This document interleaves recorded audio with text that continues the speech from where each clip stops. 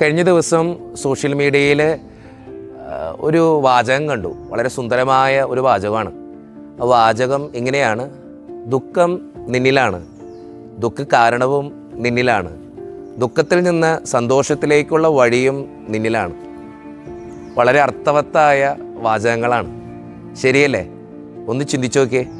ആരാ പറഞ്ഞെന്നൊന്നും ഓർക്കുന്നില്ല. പക്ഷേ ആ വാചകം മനസ്സിൽ തട്ടി. പലപ്പോഴും നമ്മുടെ ദുഃഖത്തിന്റെ കാരണം നമ്മൾ തന്നെയാണ് ദുഃഖം നമ്മളിൽ തന്നെയാണ് ദുഃഖത്തിൽ നിന്ന് സന്തോഷത്തിലേക്കുള്ള വഴിയും നമ്മൾ തന്നെയാണ് ഏത് സങ്കടത്തിന്റെ നടുവിലും ചിരിക്കണമെന്ന് ഞാൻ വിചാരിച്ചാൽ ചിരിക്കാൻ പറ്റും. ഏത് സങ്കടത്തിന്റെ നടുവിലും ചിരിക്കണ്ട ഇങ്ങനെ തന്നെ പോയാൽ മതിയെന്ന് നമ്മൾ ചിന്തിച്ചാൽ ഒരിക്കലും ചിരിക്കാൻ പറ്റില്ല. എന്റെ സ്നേഹം നിറഞ്ഞവരെ ദുഃഖത്തിൽ നിന്ന് സന്തോഷത്തിലേക്കുള്ള വഴി നമ്മൾ തന്നെ കണ്ടെത്തണം.